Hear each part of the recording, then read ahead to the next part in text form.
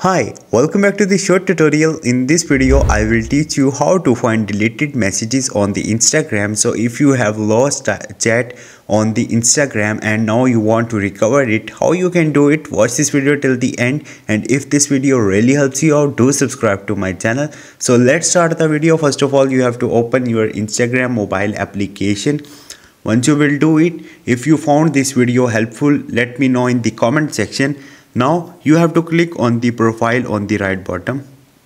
Now you are in your profile. Here you will see three lines. Click on it. Go to the settings from here.